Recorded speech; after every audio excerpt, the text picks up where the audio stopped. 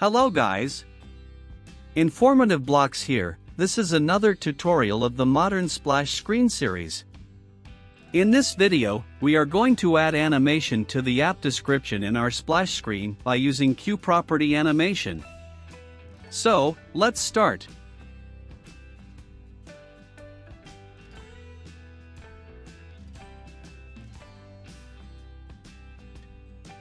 Let's animate the app description, create a description animation function, then create an opacity effect object for the background frame of our app by using the QGraphics opacity effect class.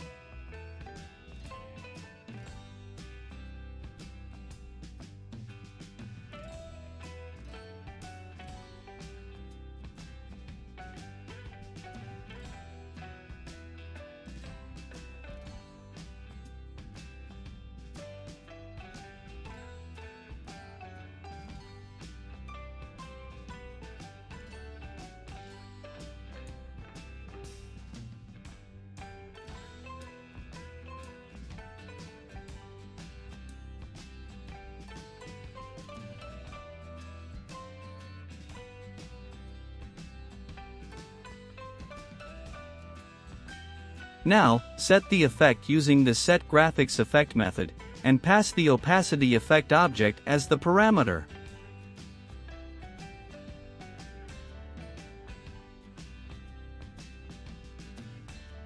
Next, create a QProperty animation object name as geometry animation and pass the parameters.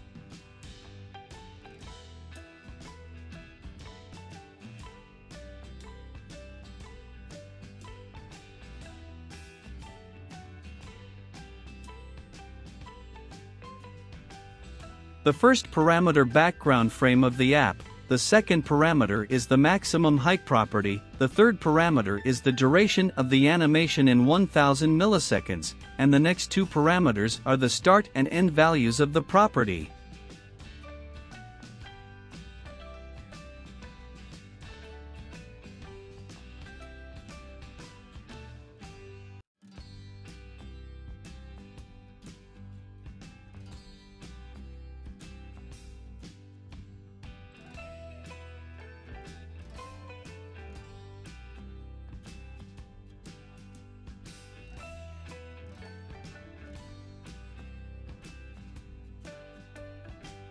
Now, set the curve of the animation by using the Set Easing Curve method, and pass the in-out cubic curve as a parameter.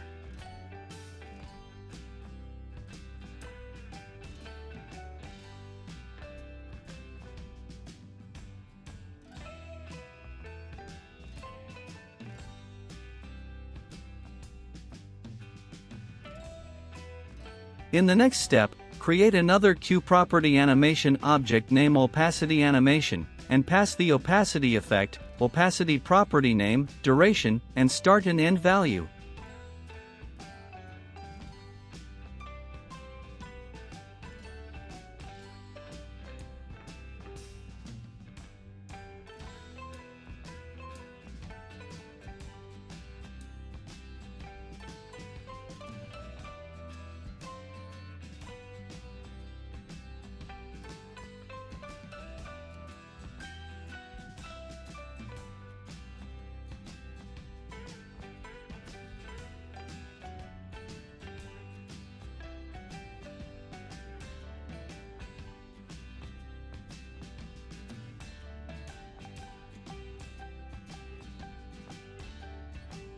Now, create a QParallel animation group object and pass the background frame of the app as a parameter.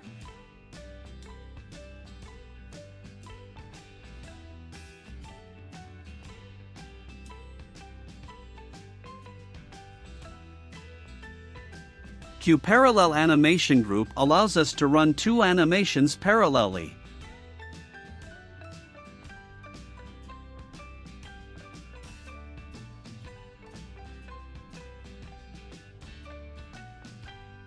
Add previously created two animation objects to the parallel animation object by using Add Animation method.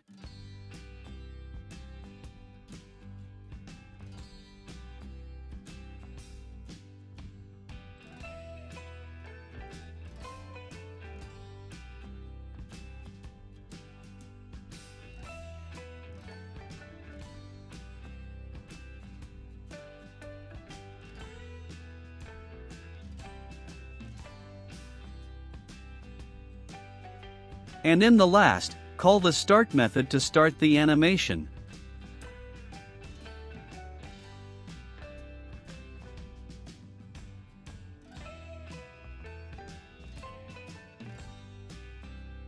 Then, initialize the description animation function in the init constructor.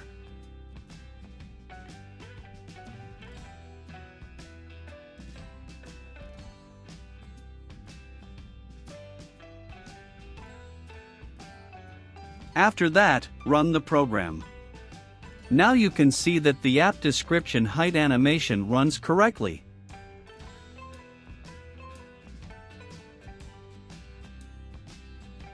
Next, remove the start call from the both logo and app description animation functions and create a new function called start animation.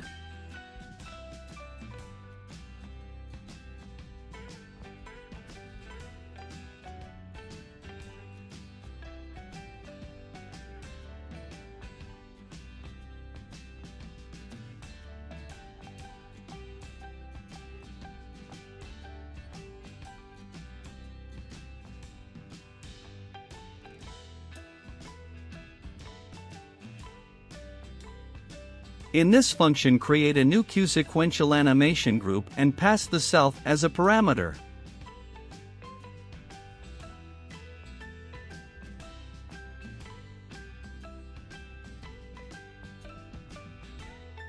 Q-sequential animation group allows us to run animations consecutively means one by one. Then, add both logo opacity and description animation to the Q-sequential animation group.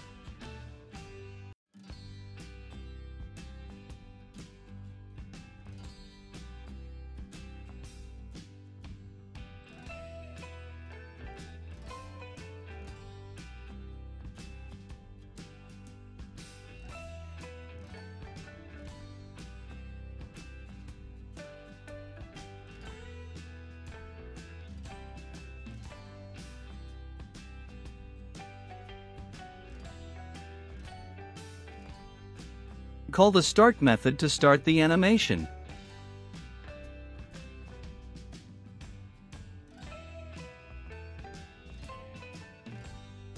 After that, initialize the start animation function in the app_init constructor.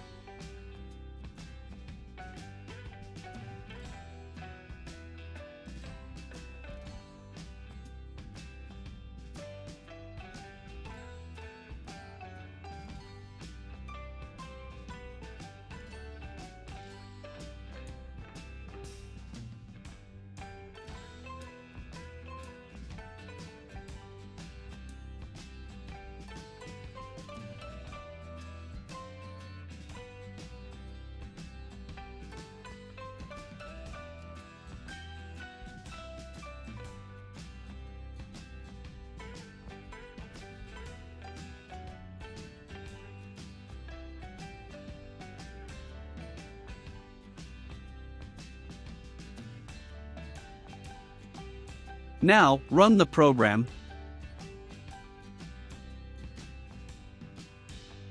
And as you can see that both app animations work properly. And here is another tutorial on the modern splash screen is completed. In the next video, we will animate the progress bar in our app, and add the logic for starting the main window after the splash screen. Like and share this video and subscribe to Informative Blocks for more such videos. Thanks for watching, and see you in the next video.